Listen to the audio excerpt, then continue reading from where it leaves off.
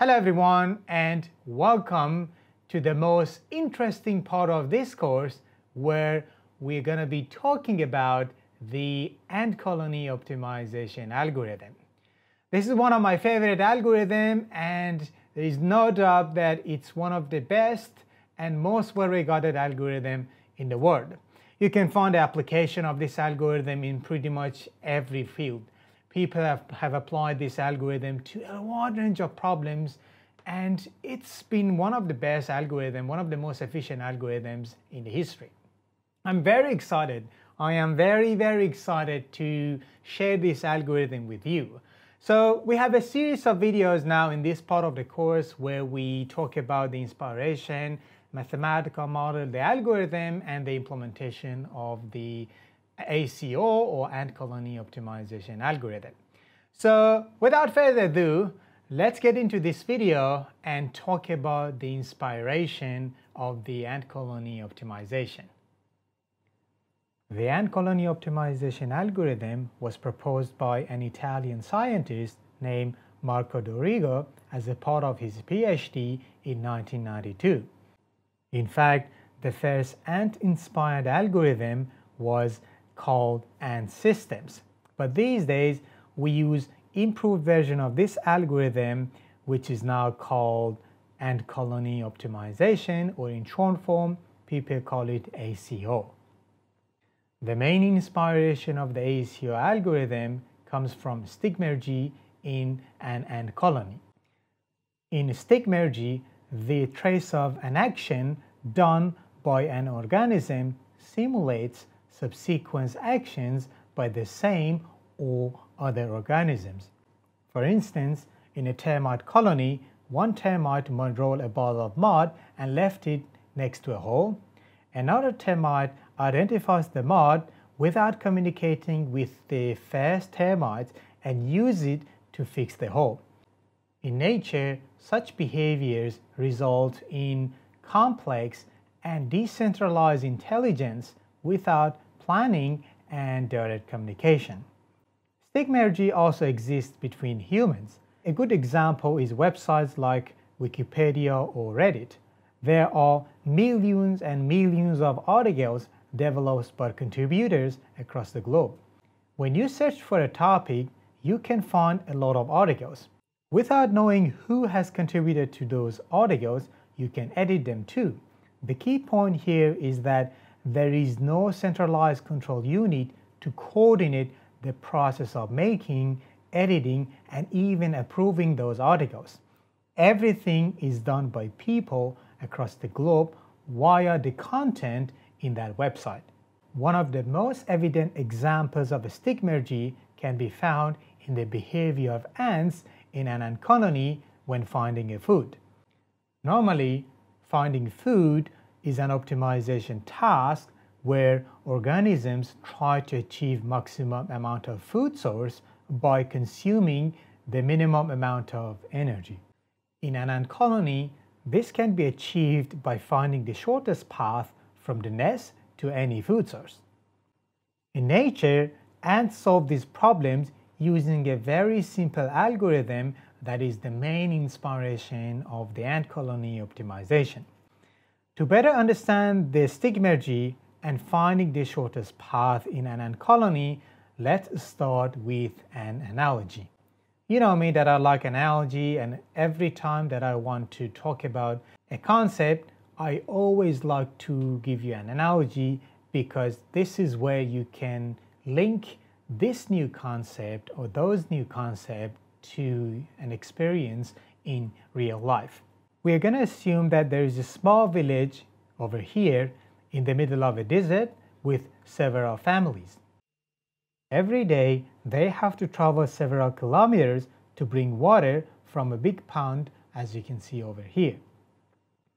People use two main routes to bring water over the rivers, but no one knows which one is shorter. So these are the paths one over here and one over here. Of course, this, part, this path is the shortest one and this one is the longest.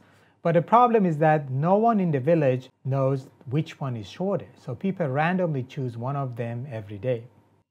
One day, a young boy and a young girl decided to solve this problem for everybody else. Remember, this story goes back to 500 years ago when there was no vehicle, mobile, or GPS to easily find these kind of short paths. After a few days, they came up with the idea of marking both passes with water and always follow the path that is more wet. Obviously, the longer path faces longer evaporation before someone makes it wet again. One morning, they wake up and decided to bring water several times. They each take two buckets, one to bring water and one to mark the path. Let's also assume that the right path is almost half of the right one. So by the time that the girl reaches the pond, the boy is halfway. The point is that the girl doesn't know whether the boy is on the way or has gone already, and they don't want to communicate. They just want to check the path. If it's more wet, then they follow the, that path. She grabs two buckets and goes back to the village while marking the path with water. When she got back home, the boy arrives at the pond and fill out his buckets. On the way back, he get to the fork, but remember, they decided to follow the path that is more wet. So this guy knows the answer and he is going to follow the path marked by the girl. So obviously, with one try, they both manage to find the shortest path. And over time, the path gets more wet and this is an indication that this path is shorter than the other. So let's say they decided to go and bring water once more in that day. The path is already wet. We assume that there is no vaporization at this stage. So when they get to the point where you have to choose two paths, they are going to choose the one that is shorter, right? So they get to the pond, they fill out their buckets, and then when you get to the point where you have to choose one of these two paths, they know what to do. They're going to choose this path, and there we go. They are already in the village with two buckets of water, and remember, the path, they mark the path again, so over time, the shortest path becomes more wet and that's a good indication that this path is the shortest path. So as you can see, with just one trip to the pond, a one round trip I should say to the pond, they managed to easily find the shortest path. So that means they solved this problem after years of choosing any of these two paths randomly. Now, you might be asking, what will happen if they choose a wrong path accidentally or the water vaporizes? And this is a definitely valid point, and that's what happens in reality. So let's consider a scenario where both of them follow their own paths twice. So let's start. So the lady goes to the pond, grabs some water, while the boy is on the way, because her path is twice shorter than the path that you know the boy follows. She's gonna go two round trip to the pond and mark the path with water and the boy only goes to one trip. So by the end of this iteration or this step, the shortest path is of course more width than the longest one. But imagine that they follow their path again. So this boy is crazy. He wants to prove that his path is a good one, so he tried to do it again. So they both follow the path again. So the lady is going to mark the path twice, as you can see in this animation. And this poor guy stayed on the way, trying to think that, you know, his path is better. They make those paths more wet because they use the same amount of water. The shortest path is going to be always more wet than the longest one. Okay, so now what happens when vaporization occurs? So I hope you see that transition between these thick lines to a bit thin. Remember, vaporization occurs with the same rate on the sand, right? So that means water vaporizes in the shorter and longer path, but the point is that the shorter path gets deposited with water more frequently than the longest one. So over time, the shortest path becomes more wet and that is again a good indication of the fact that the path over here is the shortest path or the short path as compared to the long one that the boy followed. This is roughly how ants find the shortest path from a nest to a food source. Instead of water, ants produce chemicals called pheromone. There are many types of pheromones for different purposes in an ant colony, of which one of them is used to mark the path towards a food source. Most of the ants are also blind, so that's the only way that they can communicate, which is obviously a good example of stigmergy in nature. The only difference between ants and the guys in our analogy is the fact that ants are more likely to choose a path with stronger pheromone level. So this means that they make decisions based on probabilities. The higher the pheromone level, the higher probability of choosing the path. To understand how ants use pheromone levels and probabilities to make decision and choose one path out of many, I have prepared an example for you. Let's assume that the nest is on the left hand side as you can see over here. There are two ants and there's a food source on the right hand side. There are two paths to get to the food source from the nest. So we're going to start with two identical paths with the same length and then at some point I will consider also one long and one short path. So both of them start searching for the food. When get to the fork here, they can go either up or down.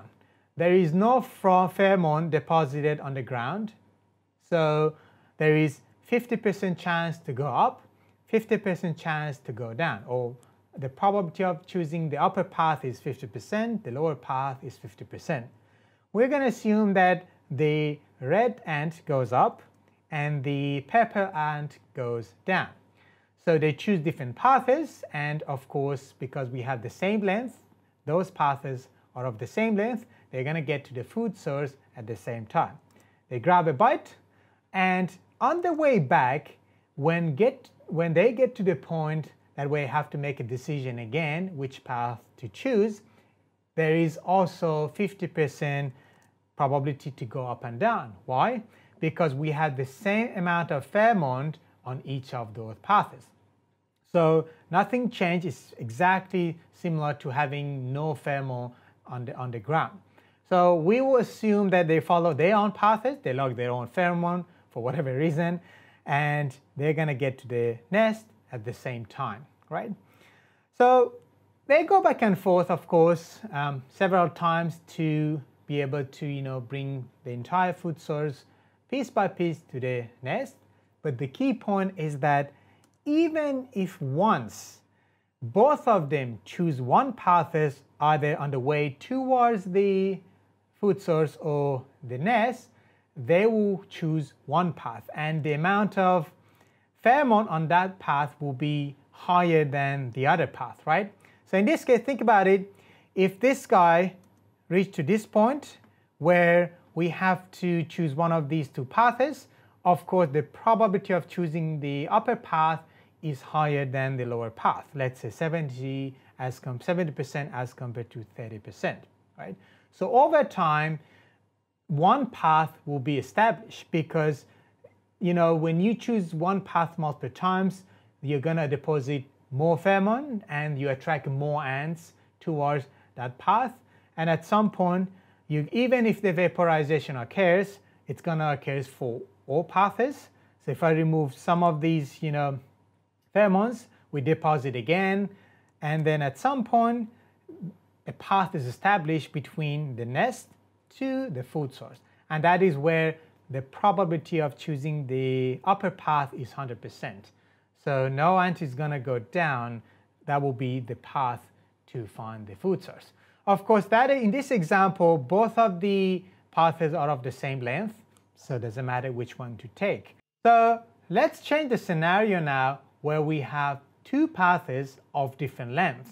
We've got a straight path, which is the short one, and we have a long path where you need to go around the straight path.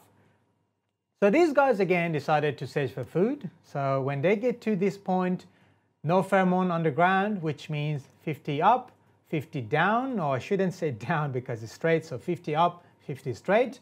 So we're going to assume that this, the red one, the stupid one, is going to choose the long one, and the pepper one is going to choose the straight one, right? So this guy gets to the food source so much faster. This guy is still on the way, grab a piece of, you know, food. Remember, they are still marking the path with their pheromones. Grab a piece of food, come back. At this stage, the probability of choosing the straight path is 100% because this guy didn't get the chance to mark you know this part of the long path. So this guy is very likely to choose this one and we assume that it takes the first path. So it goes all the way to the nest and this guy just arrived to the food source and now they are ready to do this again. So they again the purple ant gets to the fork faster. So what is the probability of now choosing the straight path? We've got one pheromone line here, two pheromone lines here, right? So that means I would say 70% straight, 30% up. So this guy is still likely to choose the, the long path, uh, but the key point here is that the probability of choosing the straight path, which is the shortest path, is higher. And we assume that this guy is smart and it will follow the purple line. But this guy again, we assume that accidentally follows the path, the red path, although we have the same probabilities for both of them. I mean, the same probability that this ant uses to choose the shortest one. But let's say this guy is not that lucky, right? And chooses the long path. And it's gonna mark the path, get to the nest. And remember, we have now three marks or three long pheromone lines for the straight path, two for the long path or for the upper path. Now, next up, we have over time, as you can see, I'm not going to simulate this again, but over time, the probability of choosing the shortest path increases every time. It's now 90-20, and let's say you go, they go back and forth, they leave you know, pheromone again. Over time, vaporization occurs, no problem. We remove one line for each, each you know, path, but the key point again is that the shortest path is going to be deposited with pheromone faster than the longer path. So there so there we go, that's what happens. This time the red one decided to choose the, the straight path, again the purple one, and over time we are going to have an established path, which is the shortest path from the nest to the food source. And remember, we don't have just two ants. There are other ants that you know try to you know follow the paths with higher pheromone concentration. And in that case at some point you're going to get a dominant path. And with this simple technique different ant colonies across the globe always and always find the shortest path between the nest to the food source so the next time that you saw, you know, the ants are eating your food, appreciate them instead of killing them. Thanks for watching. That's the end of this video and I will see you in the next one. Let's have a moment of silence for all the ants that we have killed so far in our lives.